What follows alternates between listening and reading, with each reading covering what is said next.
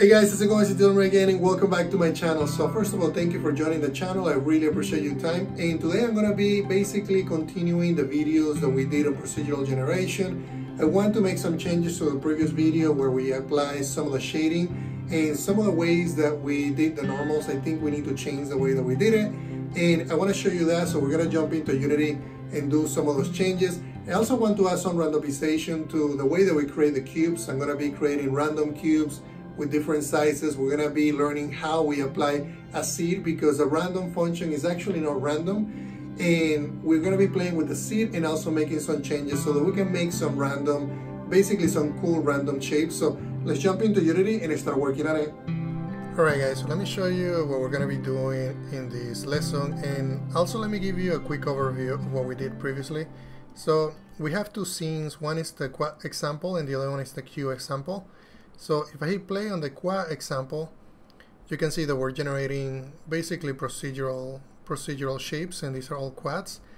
And also if we go to the cube, we can also see that if I hit play, we see we should see three different three different cubes and they're all generated from basically creating vertices, creating a mesh, normals, and, and but we have some problems in here like the shading is just not right and it's really hard to tell. There's no shadows, and, and that's because the normals are not correct. So I want to cover what we need to change in order to fix that.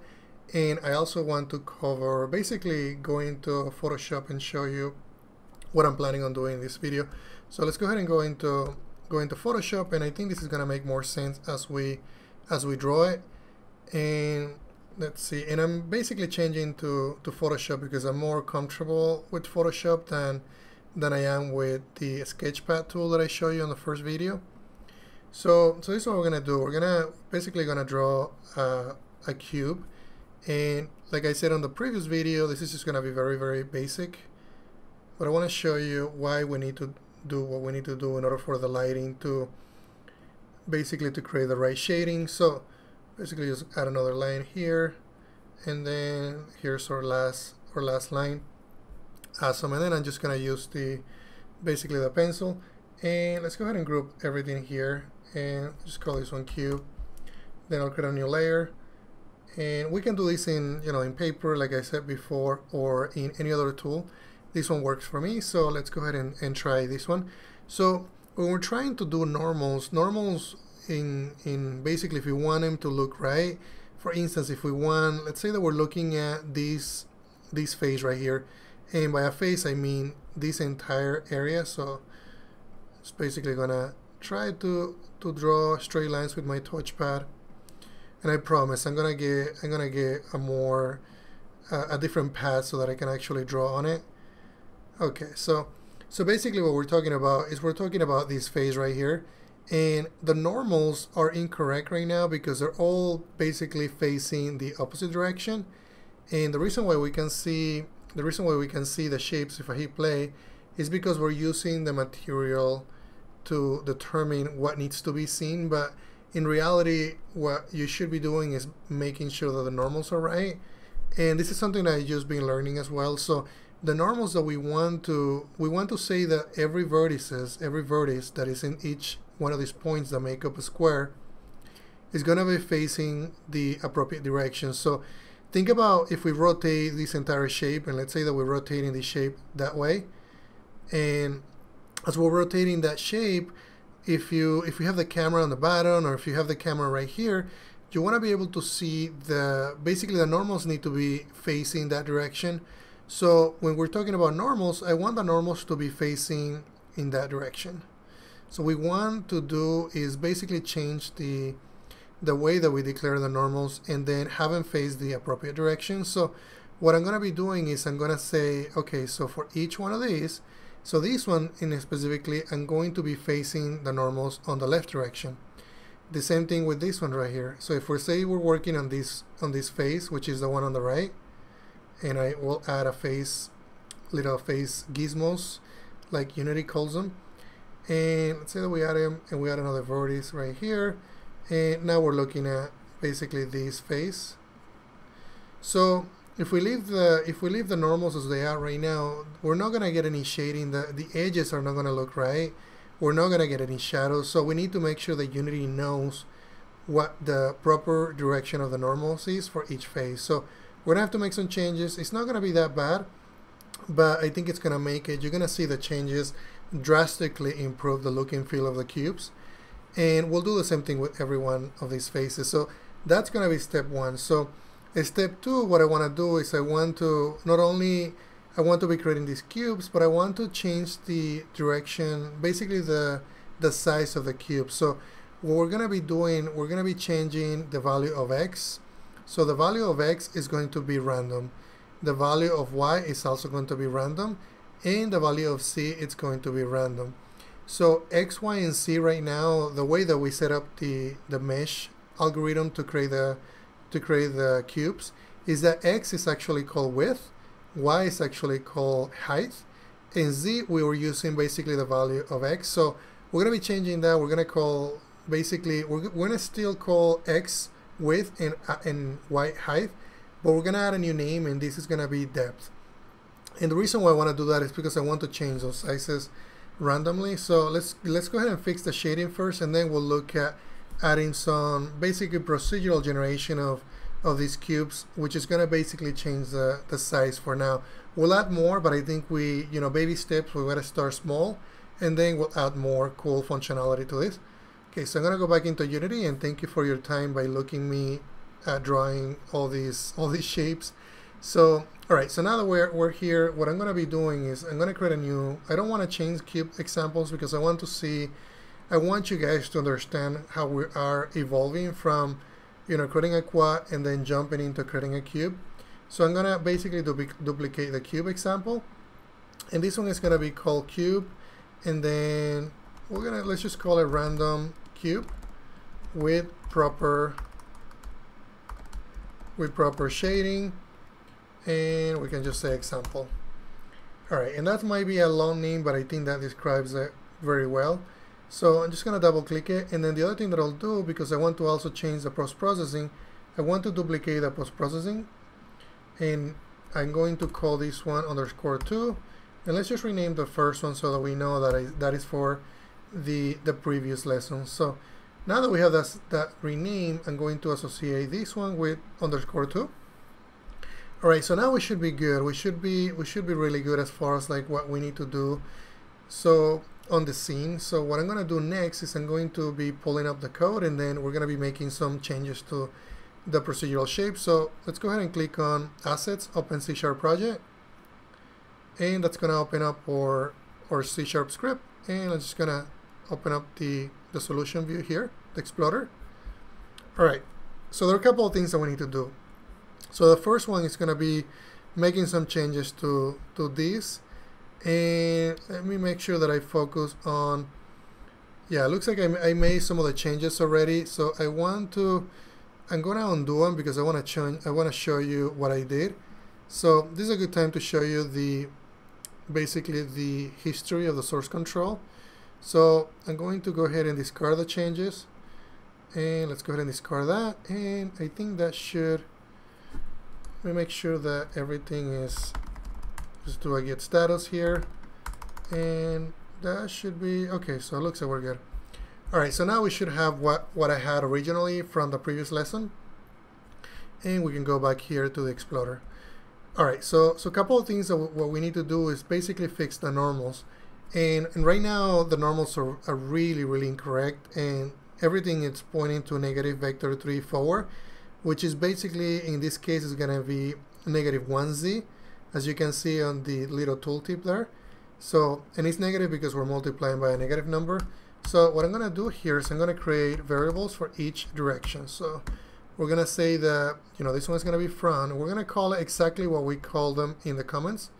So this one's going to be front, and we'll just we'll just say forward and then we'll do let's just duplicate this multiple times this one is going to be back and we'll basically say back this one is going to be up then this one is going to be down so and then this one's going to be left and right and this is going to make it easier for us to type so it's going to be up and then it's going to be down left and lastly my right one so we're basically creating variables for each direction.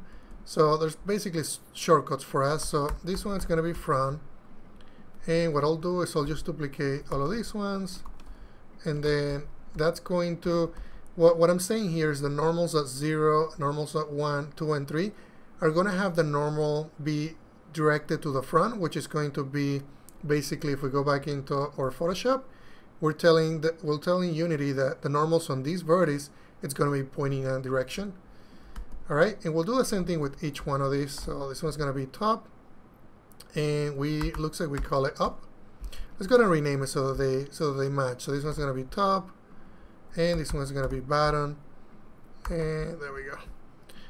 Okay, so let's make sure that we're consistent so that when we're looking at things or referencing to things, we we don't have any any confusion. Okay, and then so that's the top, and then this one's to be the back. So we did back here and this is all gonna be worth it as we when we look at it from in Unity. And this one is gonna be bottom. And there we go. Let's just rename this one too this one as well. Now the left one is gonna be the same thing. And this one as well. And lastly our right one And I also told you to remove the UVs, and, and that's okay for now. I think in a later video, we'll go ahead and add the UVs, and we can add a texture just to show you that we can do that as well. I was thinking even creating a, a procedural texture, but let's just keep this in, you know, keep it simple as it is for now. All right, and that looks a lot cleaner now. Now if we go back into, let's go back into Unity and show you how that is going to affect what we had. So I'm gonna say play. And you can now see just by hitting play that this is changing it dramatically. We can now see that, you know, there are edges on the cubes. We can all see that we, we have shadows. So if I were to move these down, you can see that the shadows where we couldn't see them before because the normals weren't correct. You can, you can now see, excellent. So, so that's great. Now let's go ahead and add another script because I want to I want to show you how that looks as we're rotating it. And this one is going to be called rotator, rotator shape. Oh, let's call it shape rotator. I think that sounds better. And then let's just double click it. This is going to be fairly simple. So this one we're just going to have a private and then vector 3. We'll just call it speed and we'll set this speed to be 0. Okay, and we'll just serialize it to expose it through the inspector. And then we'll remove what we don't need. Then right here, what we're gonna do, is we're gonna say transform and then rotate. And then what we'll do is we'll grab the speed times time that delta. And then the space, we're gonna say this is gonna be on world space. And we can put this all in one line since it's just a one line and I love using lambdas. Alright, so that looks good. Let's go back into Unity. And then what I'm gonna do is I'm going to assign that to each one of the shapes and then we'll just say shape rotator. And then we'll just say the speed. Let's go ahead and change the speed on Y. Let's change it to say let's try one and see how that looks. And then hit play. And I think that I think one was just not enough. And I don't know that I want to do white anymore. Let's see how okay let's do it on X. So I'm just gonna go back here change this to be 15 on all three shapes and hit play so we can see the rotation. There we go.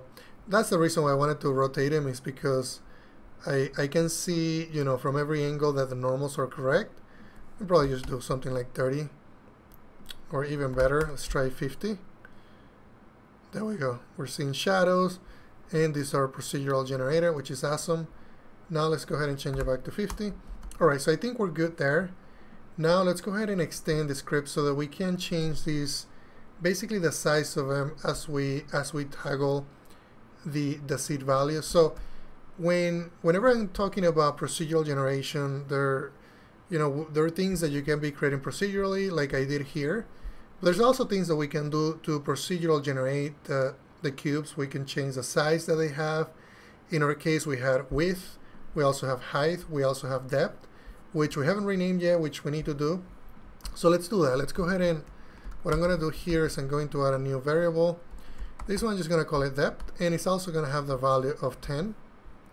And then we're going to make some changes to, to these functions. So let me call them methods because we're using C Sharp. We're not using JavaScript or any other language. So, and then the other thing that I'm going to do here, I remove them from the arguments. We don't need it. And then I'll just rename these so that it renames the ones on the bottom. This is going to be width. And this one is going to be height. And then I'll just rename it from the arguments. We don't need it. Then what I'll do is I'll do the same thing on the generate quad function. We'll just rename it here. And we'll rename it here. Height. There we go. And then we'll just remove it from the arguments because we have one that is global on the very top. The the other thing that I want to do is I have I have depth and depth is for z. So anything that has a value on z, I'm going to put the value of depth. There we go. And I'm also going to do that here. Let's do it here. And this one as well. And this one. And before I keep going, let's make sure that I didn't break anything. It's always good to, to check your code before we keep going.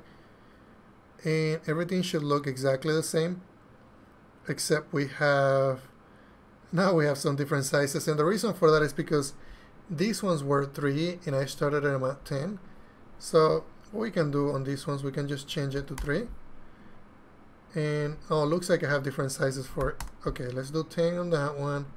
Start this one on 5 and then 3. So now they should look like they they looked before. There we go. So so we're good. Everything is working fine.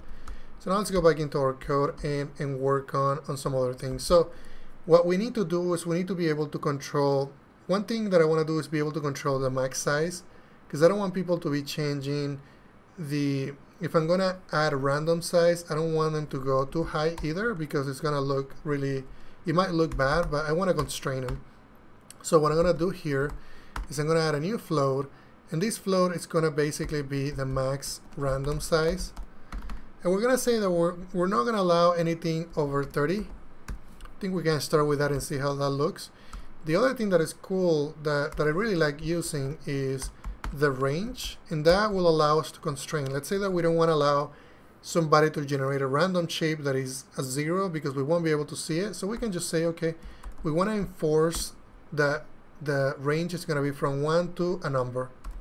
So we'll just say that this is going to go from 1 to 30 well in that case I may want to I may want to start this at the same number that these ones are. So I'm going to start this one at 10 but I'm going to allow somebody to change the the random size to be you know at 30 so let's go back into Unity and see what that does to our procedural shape script.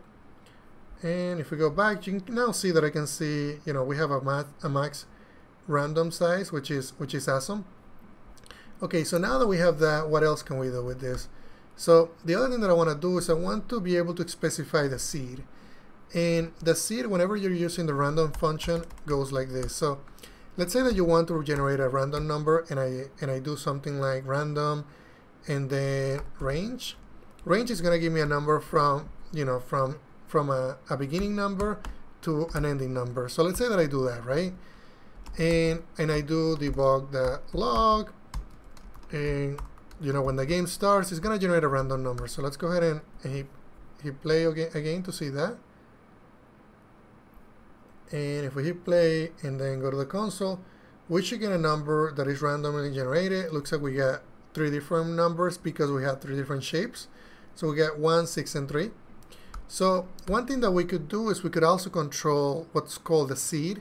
So if we go into, if we say random and then seed, you can, you can see that we could set the seed right here. I can also say initiate init state, which is which is what you need to do to initialize the seed. And then this says initialize the random number generator state with the seed. Seed is used to initialize the random number generator. And this is important because we want to be able to control the basically the number that gets feed that gets feed into the random number generator because if we want to go back say we want to see the state of the random numbers if we say that the, the seed was 5 so we could go back and change that through a slider and, and that will make more sense as I'm, as I'm showing you. So, so what I'm gonna do here is we have this random, basically this random size, and this is for the max size. We also want to do one for the for the seed. So let's go ahead and add a new one, and then this one is gonna be an integer, and this one is gonna be basically the random seed. And then we're gonna start this random seed. We might just say, okay, we just wanna start at 10. And remember, this is an integer, so we wanna make sure that we we set him as an integer. Otherwise, we're gonna get a compile error. And this is also going to be a serializable field. The other thing that I want to do, I want to also control the max number of the seed. And let's say that I want to start also at 1. But maybe this one we go higher. We go up to 100. And that's going to be 100 different changes on the random generator. So it might it will create 100 different numbers. And, and not only that, but also variations. So I'll show you that as I'm, as I'm going through the code. I'm, I don't think I'm explaining it very well. But as I show you the code, I think it'll make a lot of sense.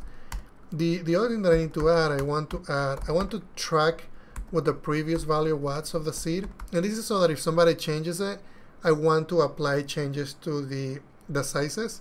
So I'm going to start this one at 10 as well. And this one is not going to be exposed. This one is going to be one that we use internally. So I'm just going to say a previous random seed. All right, so that should be the, the other thing that I want to do is, I think it'll make more sense if I move this down, because I want to add a section in here for the random. So this is going to be random generation implementation. I like to add regions so that I can keep track of the changes, and, and it also makes it easier for you to know, okay, this is the section that applies to random generation. All right, so now we have, so we have a couple of things in here we have the random seed, the previous random seed, and also the random the random size, the max random size. All right, so I think I think we're good there. So then the other thing that I want to do is I want to set the the seed at the beginning of the start. So what I'm going to say is I'm going to say random initiate state, and then we're going to pass in the random seed. Okay, so that should take care of that piece. The, the other thing that I want to do is I also want to, so right now what's going to happen is on the update method, this is going to basically call the generate cube and then we're going to be changing, we're basically going to be changing the size of this as we move. So I also want to, I also want to change the size dynamically on star.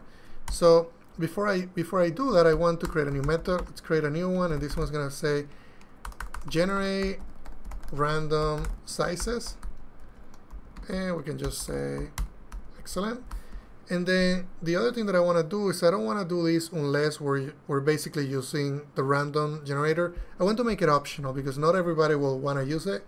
So we can add another variable here and we can say private bool and then we can say should generate or we can say generate should generate random sizes We'll just set it to false by default. If somebody wants to use that functionality, they can basically set it to true.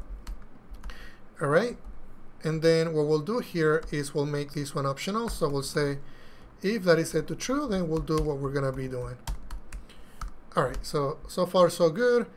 And the thing that we need to do here is we need to generate random sizes. And remember that we have width, height, and depth. So this is why I broke this into multiple ones. So I'm going to say, okay, the width, I'm going to use the random, and then I'm going to use the range. And then we want to make sure that we stay within the boundaries. And the boundaries are going to be 1 and, let's see, the 1 and 30. So I know for sure that we're going to, you know, we're going to say it's going to be 1.0f. And then the max, we're going to go to the max size. So that should control basically the, the minimum and the maximum. Alright, so that looks good. Let's do the same thing with the height. Let's also the same thing with the depth.